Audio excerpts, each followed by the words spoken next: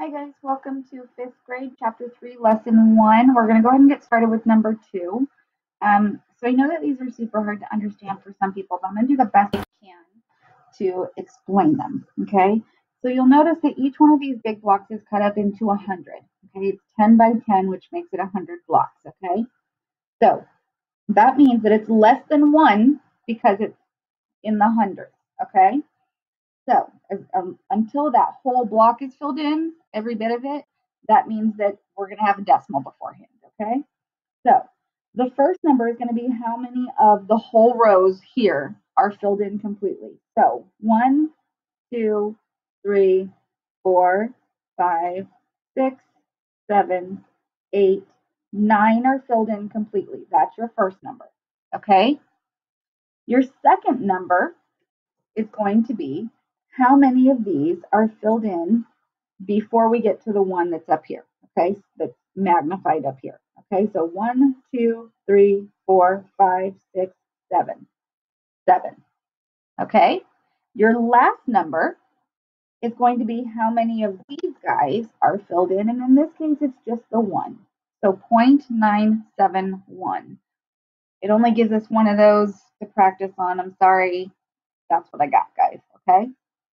So I hope that that explains a little bit better. I'm going to zoom out now so you guys don't aren't quite so close. I'm hoping that explains it a little bit better for you um, and be able to do that. Okay. All right, guys. So on three, it's saying that four is 10 times as much as, okay, which means it is bigger than the number that it is talking about, okay, that that this is, okay? That 0.4 is bigger than this number is. Now it's 10 times that much, which means that all we have to do is take that decimal and move it over here. So 0.04, okay? Now this one, it's saying that this number is going to be bigger, okay? Because we divided to get this number, so now it wants us to do the opposite, okay? So it's saying that point, sorry, that 3 thousandths is one tenth of, so it's one time. So we're going to move that decimal one time. One zero, one time. Okay? So now we're going to have 0.03. Okay? So when it's talking about 10 times as much as, then your decimal is going to get smaller. When it's talking about one tenth of, your decimal is going to get bigger. Okay? So first,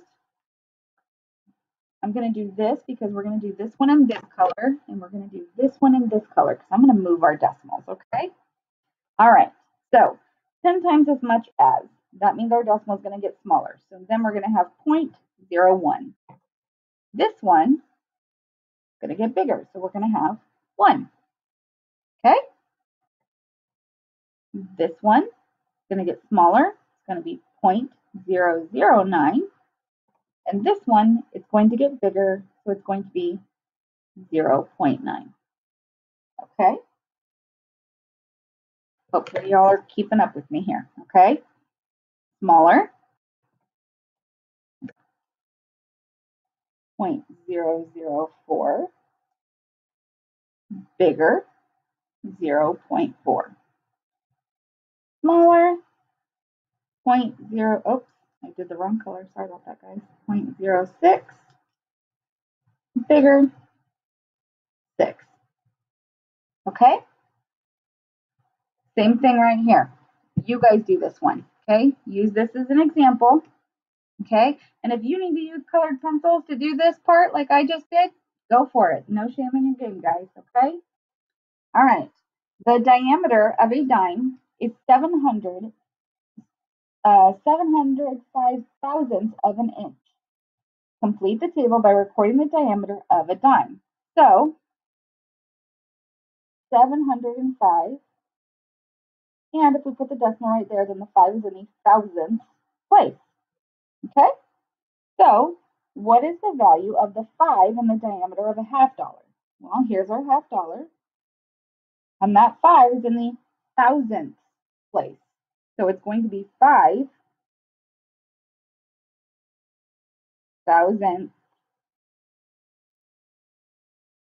Darn it, I always miss that D right there because you still have to put thousand and then THS, okay? So five thousandths.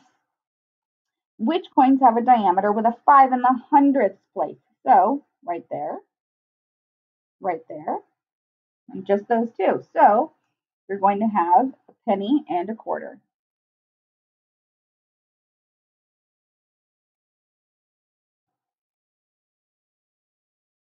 Okay, so you guys are going to do the lesson check. You totally can. I believe in you. I'm going to scroll out a little bit more again.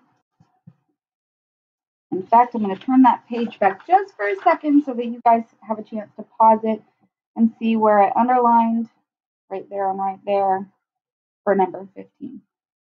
Okay, in the tens place, it's the second place after the decimal. Okay, I'm sorry, the hundredth place, not the tenth, the hundredth place, second place after the decimal. Okay, that means that 0.75, that's in the tenth, or in the hundredth, sorry, and 0.955, the 5 is in the hundredth. Okay? Go ahead and write those down, pause it, do whatever you need to do, then do lesson check. Then we're going to go ahead and do spiral review together. Okay? What is the number 731 million 934,030 written in standard form? Well, first I'm going to point out that here are our commas, and that's where our commas are going to go here. So we know we're going to have two commas, okay? So before the first comma, it's 731 million. 731.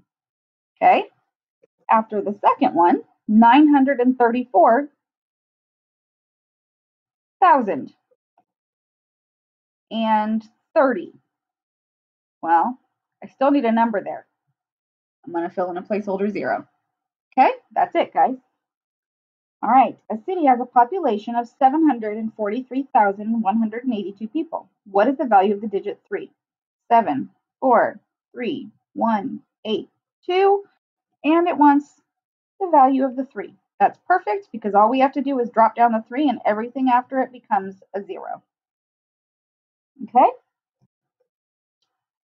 Write an expression that matches the words 3 times the sum of 8 and 4. Well, 3 times the sum, that means adding. The sum is when you add 8 and 4. Easy peasy, guys. Okay? A family of two adults and three children goes to, play, to a play. Admission costs $8 per adult and $5 per child. Okay, so that's 2 times the 8. So two adults, $8. Okay? Okay. Three children, $5 each. Write an expression to show the admission of the cost for the family. So you're going to have 2 times 8 plus 3 times 5. There's your expression. All done, guys. Okay? And uh, we do need to make sure that we put in the dollar signs. Okay? All right. Good job, guys. That was 3.1. Come on back to 3.2.